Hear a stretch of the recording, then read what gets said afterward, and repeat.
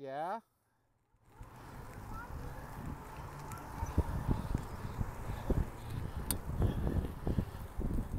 Vince, you can go in front if you're faster than Kuya.